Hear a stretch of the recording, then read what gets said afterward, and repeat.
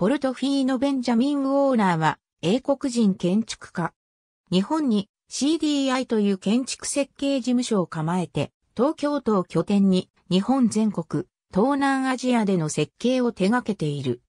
ベヌーゴのデザイナーも務め、同社の日本チェーン、ベヌゴチェーンオブサンドウィッチデリーズというカフェサンドウィッチのチェーンも手掛けている。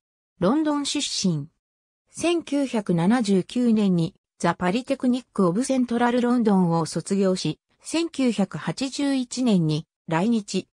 黒川正幸建築事務所勤務を経て、1985年、東京工業大学大学院、理工学研究科建築学専攻修士課程修了。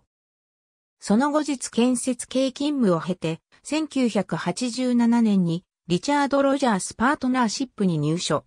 1992年から株式会社リチャード・ロジャースパートナーシップジャパンを設立し、同社代表取締役就任。1993年、有限会社 CDI 青山スタジオを設立。同社代表取締役に就任する。